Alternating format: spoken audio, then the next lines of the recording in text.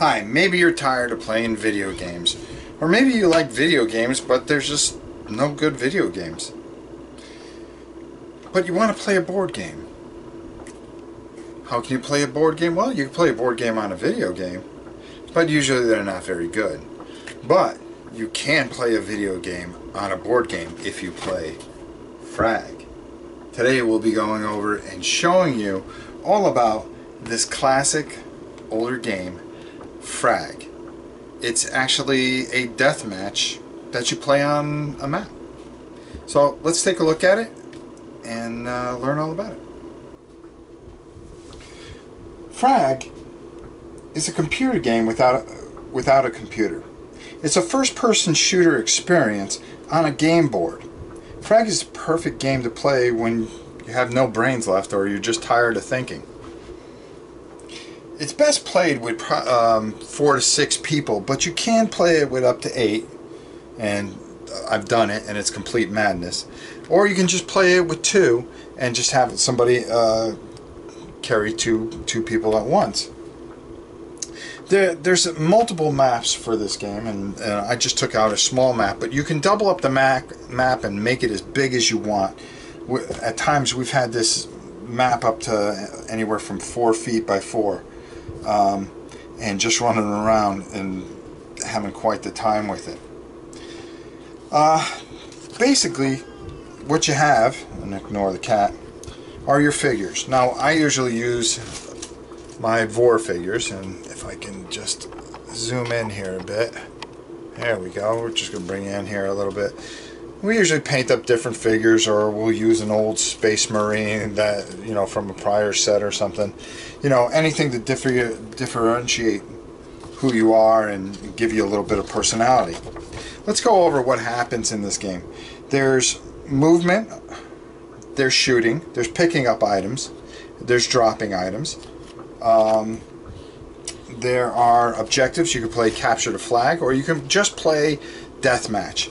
Right here, this is a perfect um, uh, table here just to play um, deathmatch. Um, what everything is based off of is your health. At the beginning of the game, and I drew on here just for the sake of drawing on here, because uh, I have so many of these sheets printed anyways. But you're given seven points, and you split them up into the different areas. As you can see, I have 3 health, 2 speed, and 2 accuracy. Now, your health, we'll explain what how that's taken care of, but your speed, you take 2 dice and you roll, and you that's how fast you'll be going. So, for this particular gentleman here, he can move up to 8 spaces. Now, at the beginning of the game, if you notice some of these uh, spots here, these are what we call gadgets. These symbols are weapons. And you also have specials. So what happens is, but there's no spot for the, the specials.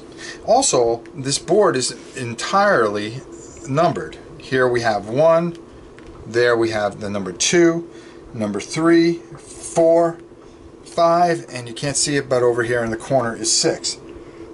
Now what happens is when you die you roll a six-sided die and if I rolled one I would spawn right at the one here. Um, it doesn't matter where anybody else is they can be camping a spawn for all they want and you may just pop right there but you get to take your turn and possibly kill them. At the beginning of the game you're giving given one gadget, one weapon, and one special. Now these all have different types of abilities. Like this card here, it's called Game Hack Bonus Damage. Play at any time. Now you make sure that you don't show these cards to, to the uh, other player. Until the end of your, your next turn, all attacks by the player do double damage. So that's a really key card. So you could possibly kill somebody with one shot. Now everybody running around, the object of the game is to um, get, uh, I believe you could play five frags. The game ends when a player scores three frags. Note that you cannot, under any circumstance, score a frag against yourself. In tournament, the winning player now has earned the right to increase one of his stats by one. So you can increase your abilities, and that's a really, really neat thing. The other thing about it is when you're playing with, we find that when we're playing with four players in deathmatch, it's three frags and you're out. Once you get killed three times, you're out of the game, and it's just elimination. So, um, or we'll play five frags, where whoever gets five frags first wins the game. Now let's talk about the different, um, the three di different attributes. Health determines how well you resist damage, how much damage you can take, and how many weapons you can have in play. If your health is low, any attack is likely to kill you, which is very true though you can respawn and come back. If your health is high, you have a better chance of surviving an attack and fragging your attacker on the next turn.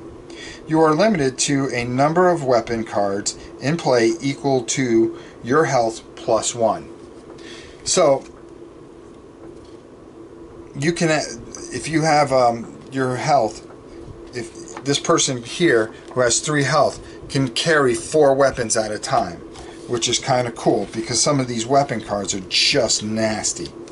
And they also have ammo. Like this is a tranquilizer gun right here. Let's uh, let me get that in there. Make sure that you can see that. Tra tranquilizer pi pistol. On the right here, if you notice, that's how many times it can be shot. So it, you can only use it six times and fire it off six times. It sends a for, for this one, fires a wide, wide burst of explosive gas needles. Add 5 to your accuracy. Now, your accuracy is really important because your accuracy is how many dice you roll to attack. Okay? So, when you're attacking, attacking goes as such. such. Person moves up and declares an attack. And let's say he's one, two, three, four four spaces away. So what would happen here is you would count out the number of space. You never count your own space, you count the space ahead of you. So it's one, two, three, four to the target. Now, this person here just happens to be using, um, first you use your accuracy. So you need to roll fours on your accuracy. So there's two dice. You roll the two dice, and we got two hits. Okay? So now, what happens is, because this, we try to see what damage it does. Since it had two hits, uh, since it hit, um, we roll three dice for damage. So he rolled five, seven, nine. Now, on defense, because this person here has three health, they get to roll three dice. Just remember we have nine. So it is 10, 13. So this would uh, this hit would miss, okay, because he would have to roll higher than a 13 to get one hit. So he would have to roll his three dice and roll higher than a 13. And if he rolled, say he had had a weapon that let him roll six dice, okay, he would have to do better than a 26 to do two, uh, two dice of damage. So I'm going to read the example real quick so you get an idea of what's going on here. The damage, uh, let's see. So for instance, if the target rolls an 8 on defense, any attack roll from 8 up to 15 would do just one hit. A roll of 16 through 23 would do two hits. A roll of 24 to 31 would do three hits, and so forth and so on. Some weapons do extra damage. This damage counts even though the base damage is zero. Okay? You also have a chance to have armor in this game. There's certain armor which will add 2 to your health stat, so you can actually roll more dice. So it can be hard to hit yourself hit and it could be pretty easy to hit somebody as well. Now, mount movement we already talked about that you rolled the number uh, of movement per your. Um, um, oh, I'm sorry, I'm just choking on my words. per your speed. Now, as you're moving around, you can move. Say you we like we rolled earlier. This person had eight movement. He moved one, two, three, four. Took a shot. Then he can move another four. And there you go. You're allowed to have five cards in your hand. During your turn, you can have as many cards as you want, but you have to discard down to five. Every time you land on one of these spaces with this symbol, you get to draw that card from this gigantic deck. If you land on a weapon, you get to draw from this deck. And there are so many vari variances of weapons, which makes this game very exciting because you don't know what you're going to get. And there's a way to pull special cards. Now, if you frag somebody, say we killed this guy, he drops all of his equipment and any cards that he may have had right underneath this blood spot. And if somebody came along, they get to add a health because of the blood spot and choose from any of the cards that he may have had in his hand. And those become that person. Persons. There's uh, plenty of different objectives. There's barrels. Uh, you can add special objectives or special spawn points. Um, there's mines that you can lay throughout. Uh, they can be hidden mines. Um, there's actually nuclear weapons that go off and cause area damage. The game's a lot of fun and it's pretty fast paced and plays I'd say in anywhere depending on how many people you have anywhere from 15 to 45 minutes once you play one game you kind of want to keep on playing a couple other games to get revenge on, on your mates I know that uh, when the kids and I play this uh, it gets kind of bloody because we're always looking to take each other out you can actually uh, level up your characters if you're playing more than, than a couple of games. Uh, depending on who wins, uh, some of the weapons that you have uh, tend to add. You can you can keep a weapon that we've always played that you roll over. You can drop ga gadgets. Um, let's see, weapon counters. Yeah, weapon counters represent where you drop stuff. I think that pretty much covers all of it. But as you can see, it's a pretty fun game. It's a fast-paced game. Uh, there's a lot of different maps. On this map here, there's a toxic side on the other side. Um, it's, it's a lot of fun. It plays very quickly and becomes very, very, um, not tense, but you know, once you get fragged by somebody, you go after them. It's kind of just like a, a, video game, and it's very well put together. It's made by Steve Jackson. Um, another another great game by him. I'd like to see him do a, another edition of it. Uh, right now, it's out of print. I'd like to see him do a big box edition like uh, he did with the Ogre. That would be a, a, lot of fun.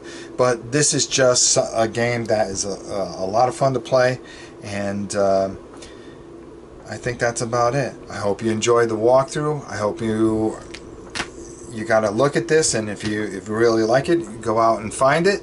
And I uh, hope I explained doors here. Um, the blue doors you can go in and out. These you can only go in, which is the red with the uh, cone. You can go in, but you can't go out that door. You can go out this door, the green one, and go back in that door uh, you can go uh, out that way. So you can come in, can't go out that way. You can go out this way, but go back in this way. So, uh, but you can't go out that way. it's kind of complicated, but once you see the door rules, you'll understand. Hope you enjoyed the walkthrough. Um, any questions, just leave a comment below. Uh, anything you want to know about the game, just let me know, and uh, I'll explain to you. Uh, thanks for watching, and we'll see you this week with more content.